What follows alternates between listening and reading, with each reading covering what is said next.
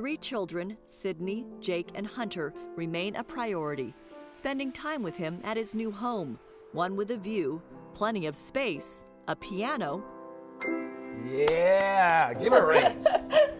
and just a few awards and these are the Mackey Awards. These are linebacker awards. and memories on display in his office. Inspirational Player of the Year. That is definitely a. That's probably one of my best awards. While that pinched nerve in 1994 was Seau's worst injury to date, his foot and ankle injuries in 2002 put him on the sidelines for three games, bringing his total of missed games to just eight in 13 years.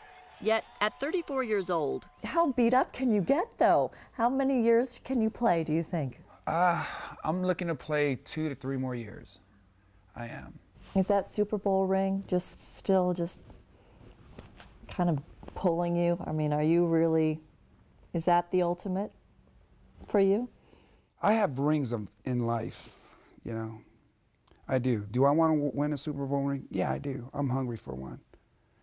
That's probably the only thing that I haven't done yet in my career that um, I haven't accomplished. But I'm not going to say that's going to fulfill my career, fill my life. Um, I'm living in San Diego. I have great friends. I have uh, a great pastor. I have uh, foundations, uh, foundation here. I've been able to plant seeds in a community to make my home. So there's a lot of rings there that I've been able to gain in 13 years. I'm proud of those rings. So for me to say that I'm going to give all that up for a Super Bowl, you know what? I'll take my rings of life. So um, am I after one? Yes. But I already won.